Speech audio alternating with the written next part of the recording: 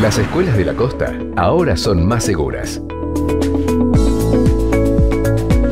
Instalamos alarmas, desfibriladores y detectores de gas. Las alarmas cuentan con monitoreo las 24 horas y conexión directa con la sala de videovigilancia.